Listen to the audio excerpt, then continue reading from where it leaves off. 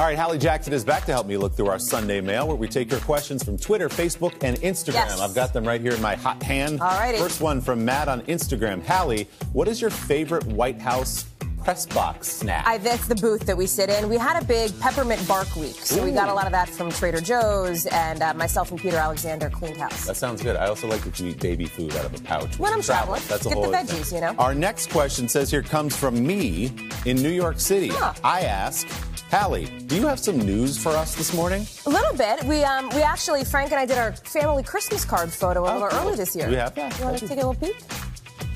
Hey, Hallie Jackson is pregnant, There ladies and gentlemen. It's happening. Congratulations. Thank you, buddy. We're so excited. How are you feeling?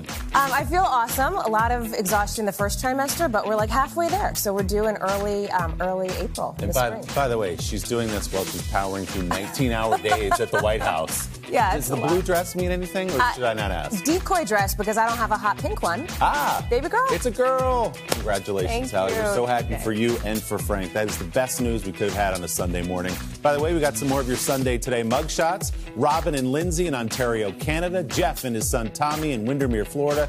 And the Jackson family right here outside Studio 1A in New York City. Hallie, congratulations. Thank you We're so thrilled, much. and thank you for announcing it here. Nobody I'd rather do it with than you, pal. You're the best, Hallie. We'll see you next week on Sunday Today. Hallie and Frank.